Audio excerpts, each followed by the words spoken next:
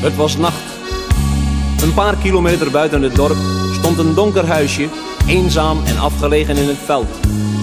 Slechts één verlicht raam op de zolderverdieping toonde aan dat het bewoond was en het enigste geluid dat te horen was kwam van de wind die door de spandraden van een hoge radioantenne vloot.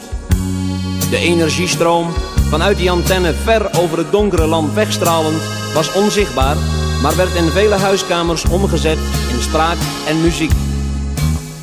Ook in een kleine bestelwagen, tientallen kilometers van de radiobron verwijderd, werd aan de knoppen van een wat vreemd uitziende ontvanger gedraaid. De zwenkende antenne op het dak van de auto bewoog zoekend heen en weer om dan plotseling te stoppen.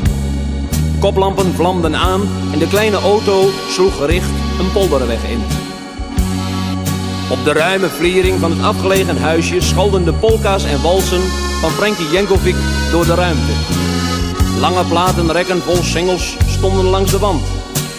Elke Nederlandstalige artiest, het zij groot, het zij klein, kon zich hier terugvinden, want ook deze piraat draaide, net als zijn vele collega's, die muziek waar in Hilversum zo weinig tijd voor gevonden werd.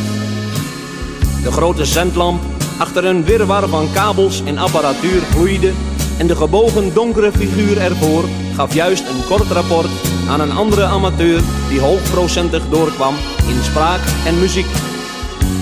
Na een korte schakeling kondigde hij de volgende plaat aan, speciaal bestemd voor Jan en Marietje die die dag hun koperen huwelijksband vierden. Opgewonden luisterde de hele visite van Jan en Marietje naar het losse praatje van hun eigen discjockey en vrolijk werd gedanst op de pittige foxtrot die aangevraagd was.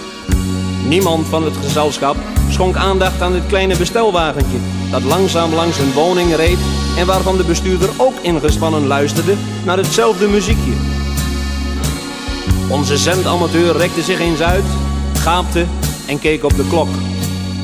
Hij besloot de uitzending te stoppen en toen het liedje van Jan en Marietje uitgedraaid was, liet hij de naald zakken op een oeroud plaatje.